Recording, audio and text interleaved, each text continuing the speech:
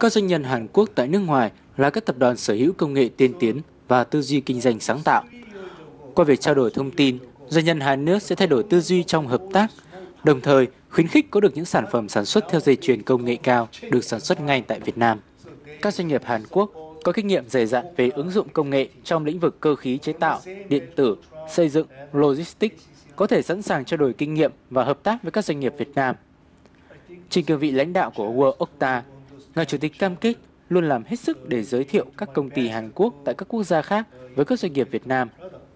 hỗ trợ người Hàn Quốc sinh sống ở Việt Nam và hợp tác chặt chẽ với VCCI trong việc hỗ trợ những doanh nghiệp và nhà đầu tư Việt Nam muốn tìm kiếm cơ hội ở Hàn Quốc.